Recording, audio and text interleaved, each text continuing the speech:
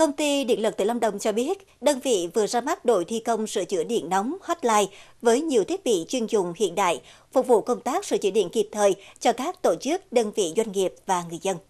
Theo đó, đội thi công sửa chữa điện nóng hotline được thành lập với 7 thành viên, được trang bị nhiều thiết bị chuyên dùng hiện đại như xe nâng người, găng tay cách điện, mũ kính, vai áo cách điện, dây bọc cáp, vân vân, với tổng kinh phí đầu tư khoảng 10 tỷ đồng. Theo đại diện Điện lực tỉnh, việc ra mắt đội sửa chữa điện nóng là nội dung nằm trong kế hoạch áp dụng công nghệ cao vào nhiệm vụ vận hành lưới điện, góp phần nâng cao chất lượng dịch vụ khách hàng, bảo đảm nâng cao độ tin cậy cung cấp điện, hạn chế thời gian mất điện của khách hàng đến mức thấp nhất, đồng thời đáp ứng nhu cầu kiểm tra, bảo trì, bảo dưỡng, vệ sinh thay thế, đấu nối thiết bị trên hệ thống lưới mà không cần phải cắt điện, phục vụ khách hàng ngày càng tốt hơn.